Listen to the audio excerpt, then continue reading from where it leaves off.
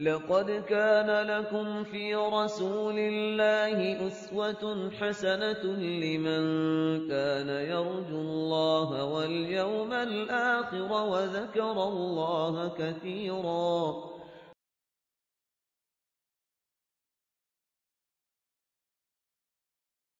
السلام علیکم ورحمۃ اللہ وبرکاتہ نحمده ونسلی علی رسوله الکریم، اما بعد، فاعوذ باللہ من الشیطان الرجیم، بسم اللہ الرحمن الرحیم، رب اشرح لی صدری ویسر لی امری، واحلل عقدۃ من لسانی یفقهوا قولی۔ آج ہم پڑھیں گے انشاءاللہ جھگڑے کے بارے میں۔ الخصم۔ الخصم کا معنی ہوتا ہے جھگڑا کرنا۔ اصل میں جھگڑا کرنے کے لیے لفظ آتا ہے خصومت۔ اور خصم کہتے ہیں جھگڑا کرنے والے کو، مد مقابل کو۔ قال اللہ تعالی، اولم یر الانسان انا خلقناه من نطفة فاذا هو خصیم مبین۔ اللہ تعالیٰ کا ارشاد ہے، کیا انسان دیکھتا نہیں ہے یعنی غور نہیں کرتا، کہ ہم نے اسے نطفے سے پیدا کیا اور پھر وہ سریح جھگڑالو بن کر کھڑا ہو گیا۔ یعنی انسان اپنی اصل اور اپنی حقیقت کو دیکھے کہ وہ کیا چیز تھا۔ انسان کا آغاز کس چیز سے ہوا؟ اور وہ چیز نیکے ڈائی سے نظر بھی نہیں آتی۔ اتنی چھوٹی چیز کہ جس کا بظاہر کوئی وجود نہیں۔ وہاں سے اس کی تخلیق کا آغاز ہوا۔ اور پھر صرف اللہ کی رحمت سے ایک کے بعد ایک مرحلہ پار کرتا گیا۔ اور جب اللہ نے اس کو مکمل صحت، قوت، طاقت، جسمانی اور عقلی اعتبار سے دی، تو پھر اس نے اپنی ان طاقتوں کو کس کام لگایا؟ کہاں استعمال کیا؟ کبھی اللہ سے جھگڑنے میں اور کبھی بندوں سے جھگڑنے میں۔ قال اللہ تعالی ویشہد اللہ علی ما فی قلبہ وہ الد الخصام۔ اللہ تعالیٰ کا ارشاد ہے اور اپنی نیک نیتی پر وہ بار بار خدا کو گواہ ٹھہراتا ہے۔ منافق کی صفت بیان ہو رہی ہے۔ حالانکہ وہ زبردست جھگڑالو ہے۔ الد بھی جھگڑالو کو کہتے ہیں اور خسام بھی جھگڑنے والے کو۔ خسم کی جمع ہے خسام۔ یعنی جھگڑنے والوں میں سب سے زیادہ جھگڑالو۔ جو قسمیں کھا کھا کر دوسروں کو اپنی نیک نیتی کا یقین دلاتا ہے لیکن اس کا عمل اس کے بالکل برخلاف ہے۔ معاملات میں وہ بہت جھگڑالو ہے۔ جھگڑا عام طور پر کیوں ہوتا ہے؟ جھگڑا کب ہوتا ہے؟ یا جھگڑا کون کرتا ہے؟ جھگڑا اس وقت ہوتا ہے جب ایک شخص دوسرے کی مرضی کے خلاف بات کرتا ہے، یا کوئی بات اسے اپنی شان کے خلاف نظر آتی ہے۔ بنیادی وجہ جھگڑے کی بھی تکبر ہی ہے۔ ایروگنس سرکشی۔ خود کو بڑا سمجھنا۔ خود کو زیادہ عقل مند سمجھنا۔ اپنی بات کو حتمی سمجھنا۔ اور اپنی بات کو منوانے کی خواہش رکھنا۔ اور اگر کوئی نہ مانے تو زور سے منوانا۔ تو یہ منوانے کے لیے جو زور لگانا ہے اور زبانی حجتیں کرنا یا پھر ہاتھ کا استعمال یہی جھگڑا ہوتا ہے یہی سے جھگڑے کا آغاز ہوتا ہے ان عروت ابن الزبیری ان عائشت رضی اللہ عنہ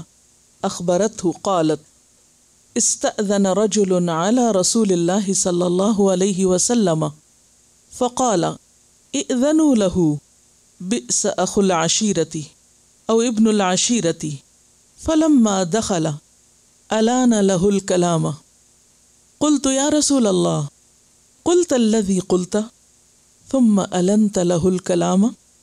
قال اي عائشه ان شر الناس من تركه الناس او ودعه الناس اتقاء فحشه. رواہ البخاری، کتاب الادب. اس حدیث کو روایت کیا ہے عروہ بن زبیر نے اپنی خالہ حضرت عائشہ رضی اللہ تعالی عنہا سے۔ یہ روایت کرتے ہیں کہ انہیں حضرت عائشہ نے خبر دی۔ کیا خبر تھی؟ کہ ایک شخص رسول اللہ صلی اللہ علیہ وسلم کے پاس آنے کی اجازت مانگتا ہے۔ آپ نے اجازت دے دی کہ اسے آنے دیا جائے۔ حالانکہ وہ شخص اچھا شخص نہیں تھا، قبیلے کا برا آدمی تھا۔ لیکن جب وہ اندر آیا تو آپ نے اس کے ساتھ بہت اچھے اخلاق کا مظاہرہ کیا۔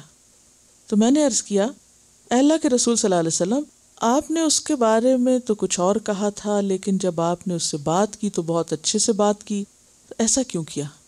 یعنی حضرت عائشہ کو آپ کے اس رویے پر تھوڑی حیرانگی ہوئی کہ اگر یہ اچھا آدمی نہیں تھا، تو پھر اس سے تو کیسے بولنا چاہیے تھا اور کیسے معاملہ کرنا چاہیے تھا؟ ہم کیسے کرتے ہیں؟ اگر ہمیں کسی کے بارے میں شک بھی ہو جائے کہ وہ اچھا آدمی نہیں ہے، تو پھر ہمارا اخلاق کہاں جاتا ہے؟ پھر ہم اپنا حق سمجھتے ہیں کہ اس کے ساتھ ویسا ہی کریں، بلکہ اس سے بڑھ کے بھی بدتمیزی کریں، تو ہمارا رائٹ ہے تاکہ ہم اس کو سبق سکھائیں اس کے برا ہونے کا۔ تو اس پر آپ صلی اللہ علیہ وسلم فرمایا کہ بدترین ہے وہ آدمی جس کی بد کلامی کے ڈر سے لوگ اسے چھوڑ دیں اس سے بات نہ کرنا چاہیں تو مطلب کیا تھا آپ کے کہنے کا؟ کہ میں نے اچھے سے بات اس لیے کی ہے کہ اگر میں بد اخلاقی سے پیش آؤں تو لوگ تو مجھ سے ملنا جلنا بھی چھوڑ دیں گے۔ تو وہ شخص خود برا ہے جس سے لوگ اس کی بد اخلاقی کی وجہ سے ملنا جلنا چھوڑ دیں۔ یعنی میں بھی پھر کس مقام پہ آ جاؤں گا؟ اسی کے۔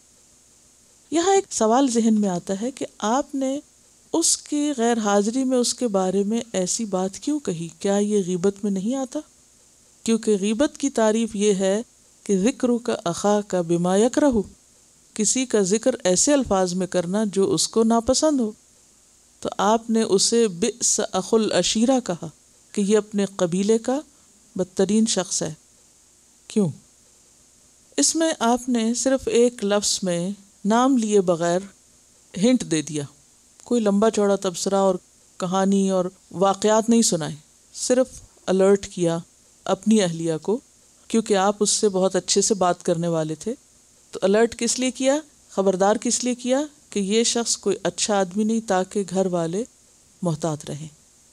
تو اس میں اس انداز سے بات کرنا اور اس موقع پہ بات کرنا غیبت شمار نہیں ہوتا۔ اس میں پورا سینٹینس بھی نہیں۔ نمبر دو نام بھی نہیں لیا یعنی اس شخص کا نام نہیں لیا، اور نمبر تین یہ کہ بس جتنی ضرورت تھی خبردار کرنے کی، محتاط کرنے کی، بس اتنی بات کر دی۔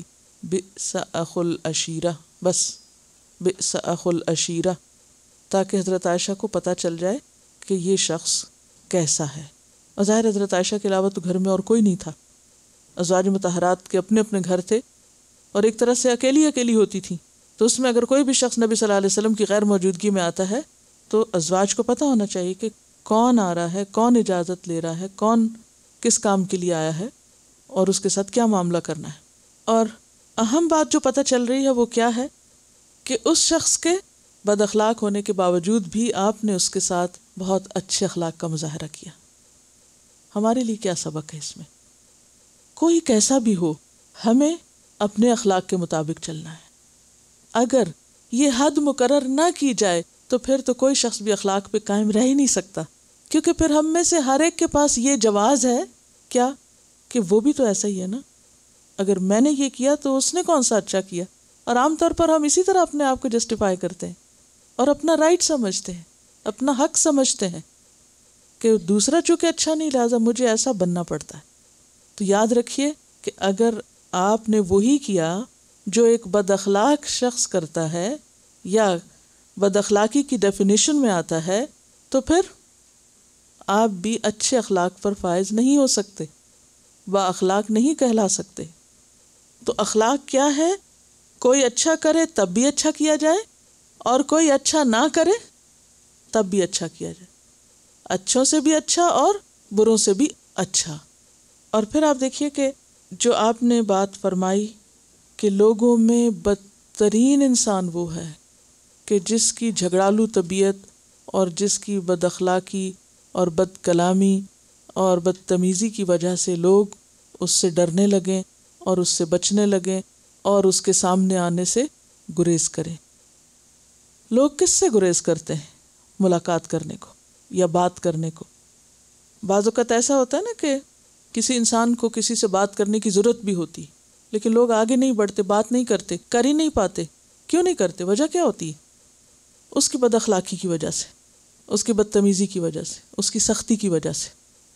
تو یہ کوئی اچھی علامت نہیں، کوئی اچھا سائن اچھا سمبل نہیں، اچھی مثال نہیں کہ لوگ توبہ توبہ کریں ایسے شخص سے بات کرنے سے۔ اللہ کے رسول صلی اللہ علیہ وسلم اس کو شر الناس کہہ رہے ہیں، بدترین انسان۔ انسانوں میں سے انتہائی بدترین انسان کہ جس سے لوگ بات نہ کرنا چاہیں۔ اگلی حدیث ان عائشة رضی اللہ عنہا، عن النبی صلی اللہ علیہ وسلم قال ان ابغض الرجال الى اللہ الالد الخصم، رواہ البخاری، کتاب المظالم۔ سیدہ عائشہ رضی اللہ عنہا سے روایت ہے کہ نبی کریم صلی اللہ علیہ وسلم نے فرمایا اللہ تعالیٰ کے یہاں سب سے زیادہ ناپسندیدہ وہ آدمی ہے جو سخت جھگڑالو ہو۔ کیسے ہوتا ہے جھگڑا؟ مثلا سیدھی بات کا بھی الٹا مطلب نکالنا۔ سیدھی صاف آسان بات کا غلط مطلب نکال کے بات کو آؤٹ آف کانٹیکس بیان کرنا۔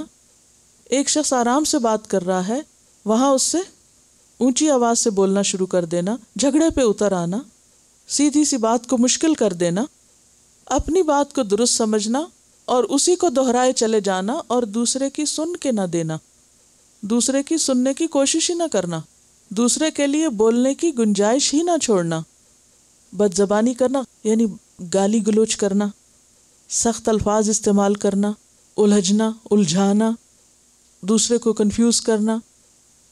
آ، بیل مار، نہیں مارتا تو پھر بھی مار۔ یعنی بے وجہ دوسروں کو چھیڑ چھاڑ کرنا کہ جس سے وہ غضبناک ہو جائیں اور پھر جھگڑے پہ اتر آئیں۔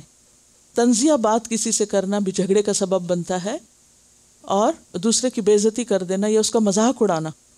بعض اوقات جھگڑا کس سے شروع ہوتا ہے؟ مذاق اڑانے سے۔ بعض اوقات بات کچھ ہوتی ہے اور اس کو کچھ اور بنا دیا جاتا ہے۔ پہلے تو ہمیں یہ دیکھنا ہے کہ وہ کون سی چیزیں ہیں جو جھگڑے کا سبب بنتی ہیں یا وہ کون سے انداز ہیں یا وہ کون سے اسباب ہیں کہ جو جھگڑا کریٹ کرتے ہیں اور پھر ان کو سلجھایا کیسے جا سکتا ہے؟ یعنی اب آپ دیکھیے کہ اگر اللہ کے ہاں کسی کی قدر اور ویلیو نہیں اور وہاں گراف پسندیدگی کا بالکل زیرو پہ آ جائے اور سخت ناپسندیدہ یعنی اللہ تعالیٰ نفرت کرتا ہے ایسے لوگوں سے کہ جو جھگڑالو ہوں، جھگڑے پیدا کریں، بات بات پہ لڑنے پہ اتر آئیں۔ تو پھر خواہ پوری دنیا میں ہماری شہرت کیوں نہ ہو، ناموری کیوں نہ ہو، عزت کیوں نہ ہو، صرف ڈر کے مارے ہی لوگ بھلے عزت کر رہے ہوں۔ بعض اوقات ایسا بھی ہوتا ہے نا کہ حقیقی عزت کسی کے دل میں نہیں ہوتی، وہ کس لیے عزت کرتے ہیں؟ اپنی عزت بچانے کے لیے۔ یعنی چاہے کسی کا کتنا ہی روب اور دب دبا اور ایک ٹہکا سا ہو، لیکن دل میں کوئی قدر نہ ہو، یا کوئی شخص کتنا ہی مالدار کیوں نہ ہو، یا کتنی بڑی ڈگری کسی کے پاس کیوں نہ ہو، کتنا ہی علم والا کیوں نہ ہو، لیکن اگر لوگوں کے دلوں میں وہ نہیں بستا، دل میں اس کے لیے قدردانی نہیں، تو اللہ کے ہاں بھی اس کا کوئی مقام نہیں۔ تو انتہائی محتاط رہنے کی ضرورت ہے۔ اور پھر یہ کہ صرف ناپسندیدہ نہیں، اب غز اللہ تعالیٰ اس سے سب سے زیادہ بغض رکھتے ہیں، سب سے زیادہ ناپسند کرتے ہیں ایسے شخص کو کہ جو جھگڑالو ہو۔ اگلی حدیث ہے ان انس ابن مالک عن النبی صلی اللہ علیہ وسلم قال، اتدرون مل عدت قال اللہ ورسوله عالم قال، نقل الحدیث من بعد الناس الى بعد ليفسد بينهم رواه البيهقي في السنن الكبرى كتاب الشهادات ان انس ابن مالک، انس بن مالک، سیدنا انس بن مالک رضی اللہ عنہ سے روایت ہے کہ نبی کریم صلی اللہ علیہ وسلم نے فرمایا، کیا تم جانتے ہو کہ عدہ کیا ہے؟ صحابہ رضی اللہ عنہم نے کہا اللہ اور اس کے رسول بہتر جانتے ہیں۔ آپ صلی اللہ علیہ وسلم نے فرمایا، فساد پھیلانے کے لیے ایک کی بات دوسرے تک پہنچانا۔ یعنی ایسا شخص بھی اللہ کے نزدیک سخت ناپسندیدہ ہے کہ جو لوگوں کو آپس میں لڑائے، ان کے تعلقات خراب کرے۔ اور یہ عام طور پہ کیسے ہوتا ہے؟ کسی کا قریبی ہونے کے لیے، ہر دل عزیز ہونے کے لیے، اس کی نظروں میں سمانے کے لیے بعض اوقات اس کی ہمدردی حاصل کرنے کے لیے لوگ کیا کرتے ہیں؟ اوروں کی باتیں لا لا کے پہنچاتے ہیں۔ تو آپ کو پتہ ہے آپ کے بارے میں فلاں کیا کہتا ہے؟ اب آپ کے بارے میں کوئی کہے اور آپ کو اس سے دلچسپی نہ ہو اور آپ اس پر اعراض برتے، آپ تو لازمن جاننے کی کوشش کریں گے۔ اگر وہ کہے نہیں، میں نہیں بتاتا، تب بھی کہیں گے، اب تم پہ قسم ہے، تم بتاؤ۔ اور تو ضرور معلوم کریں گے کہ کیا کہتا ہے کوئی۔ اور پھر بعض اوقات سچی بات اور بعض اوقات جھوٹی اور بعض اوقات آؤٹ آف کانٹیکسٹ کیونکہ بعض اوقات کسی شخص نے وہ بات اس معنی میں نہیں کہی ہوتی جس میں دوسرے تک پہنچا دی جاتی اور اس سے کیا ہوتا ہے؟ دوسرے کا دل خراب ہوتا ہے۔ اب کیا ہوگا؟ اس خراب دل کے ساتھ وہ آئندہ اس سے ملے گا تو پھر کیا ہوگا؟ وہ بھی بد اخلاقی برتے گا۔ اس کو بھی خراب کیا، اس کو بھی کیا۔ اور ان دونوں کے آپس کے تعلقات بھی خراب کیے۔ اس کو اس سے بدزن کیا، اس کو اس سے بدزن کیا۔ حاصل کیا ہوا؟ یعنی ایسا شخص جو ہے، اسے کانٹے دار درخت سے تشبیح دی گئی۔ مومن کیا ہوتا ہے؟ قرآن پاک میں مومن کی مثال کیا ہے؟ کشجرت طیبہ اسلحہ ثابت و فرعها السماء، تؤتی اکلہا کل حین باذن ربها مومن تو ہر آن اپنے رب کے اذن سے پھل ہی دیتا ہے۔ دوسروں کے لیے فائدہ مند ہوتا ہے۔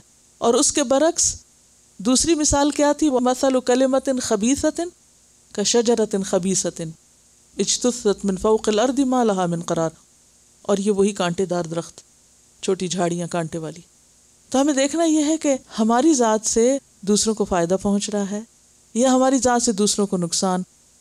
ہماری ذات سے لوگوں کے باہمی تعلقات بہتر ہو رہے ہیں، یا لوگوں کے باہمی تعلقات خراب ہو رہے ہیں۔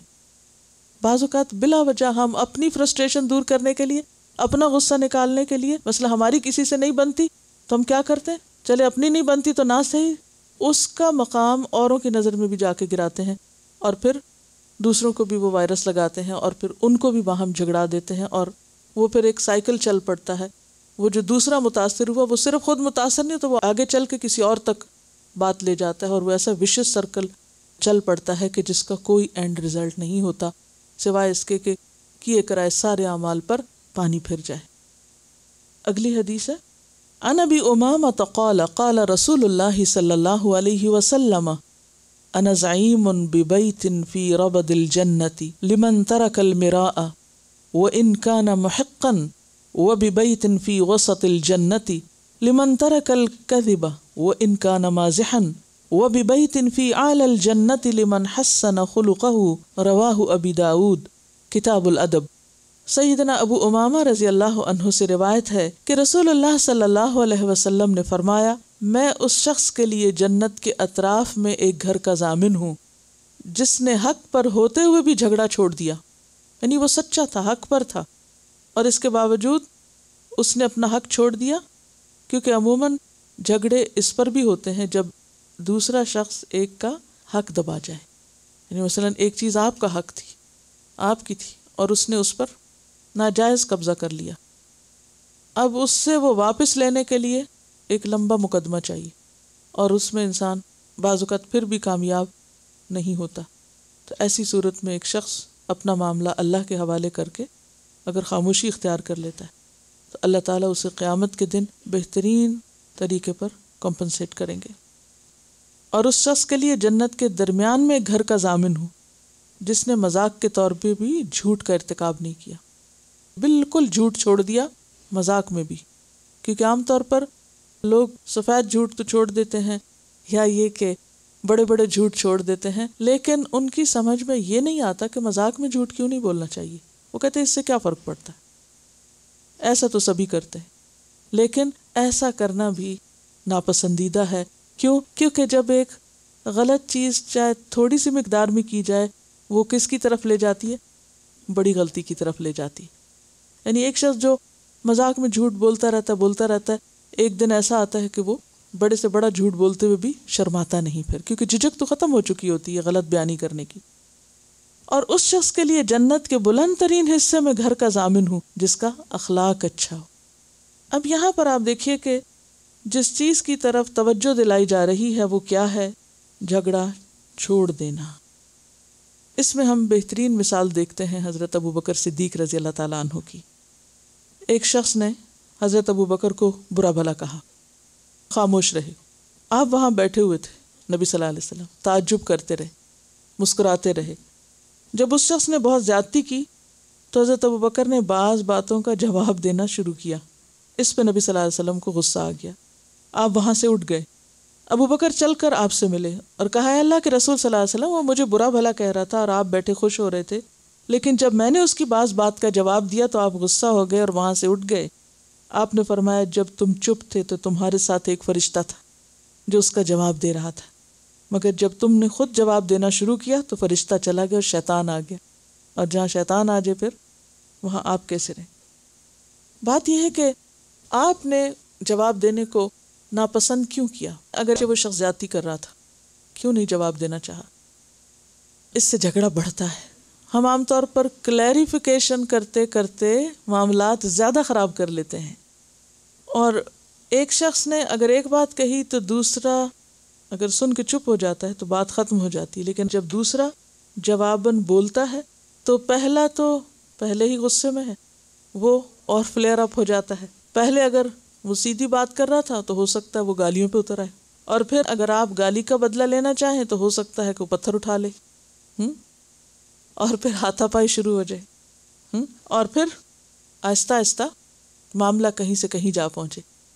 اس کے برعکس اگر ایک شخص بولے چلے جا رہا ہے، بولے چلے جا رہا ہے اور آپ خاموشی سے سن رہے ہیں، تو کیا ہوگا؟ تھوڑی دیر میں اس کے غبارے کی ہوا نکل جائے گی اور اس کو ٹھنڈا ہونا پڑے گا۔ کتنی دیر کوئی ابل سکتا ہے، کھول سکتا ہے، بھڑک سکتا ہے، کتنی دیر آخر، کتنی دیر؟ بس دوسرے شخص کا اس وقت صبر کا امتحان ہوتا ہے کہ وہ اس وقت خاموشی اختیار کر لے، چپ کر کے سنتا جائے، خصوصاً اگر اس کی ذات کے بارے میں کچھ کہا جا رہا ہو۔ یعنی اس کو سخت سست یا نکما یا برا بھلا کہا جا رہا لیکن اگر پلٹ کے وہ ایک لفظ بھی بول دے گا ایسے موقع پر تو کیا ہوگا؟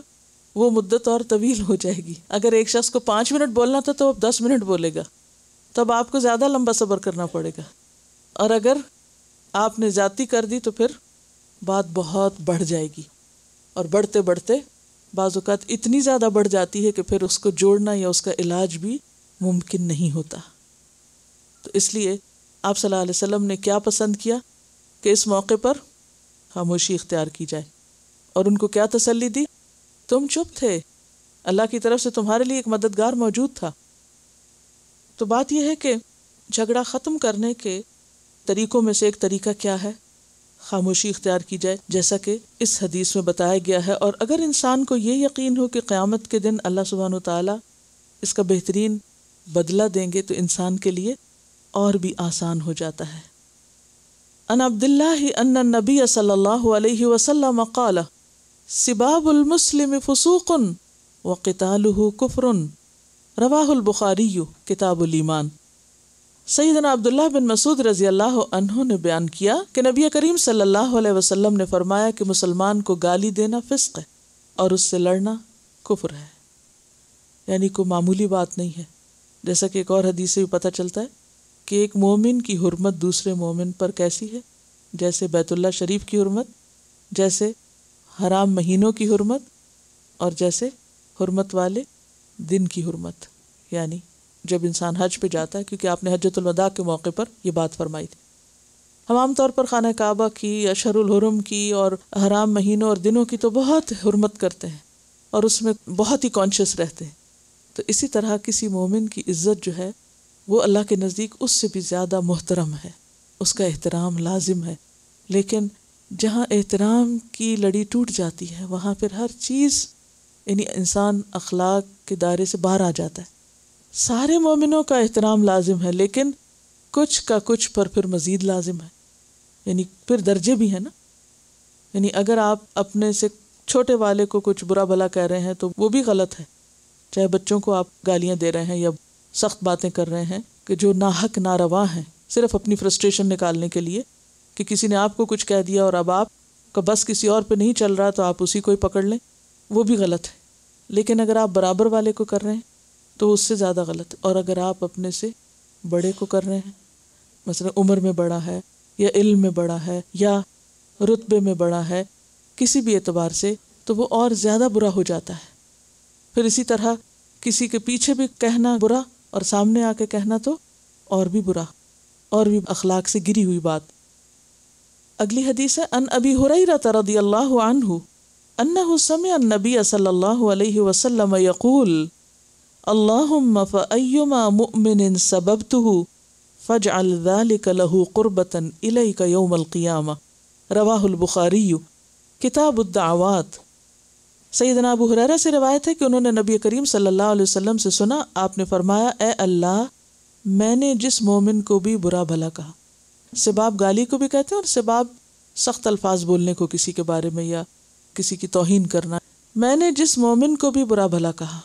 تو اس کے لیے اسے اپنی قربت کا ذریعہ بنا دے۔ یعنی وہ الفاظ جو اس کے بارے میں کہے گئے اور اس کو تکلیف دے گئے، تو اس پر اس نے جو صبر کیا یا اس کو جو نقصان ہوا، اس کے بدلے میں اسے قیامت کے دن اپنا قرب دے دے۔ یعنی دنیا میں ہی اس شخص کے حق میں دعا مانگ کر کمپنسیٹ کیا۔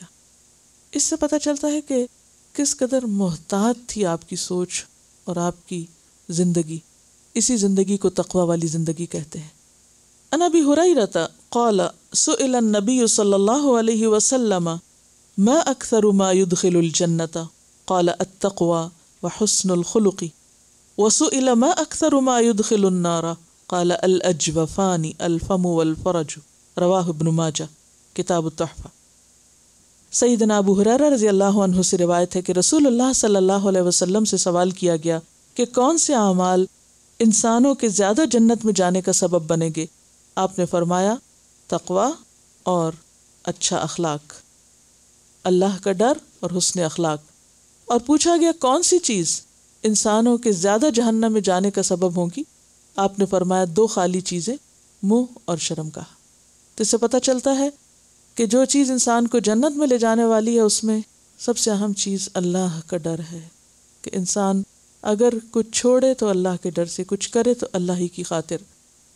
یعنی چوبیس گھنٹے اس کا اللہ کے ساتھ ایک ایسا کنیکشن رہے کہ وہ لمحے کے لیے بھی اللہ سے غافل نہ ہو۔ مسلسل اس کا کنیکشن اللہ کے ساتھ جڑا رہے۔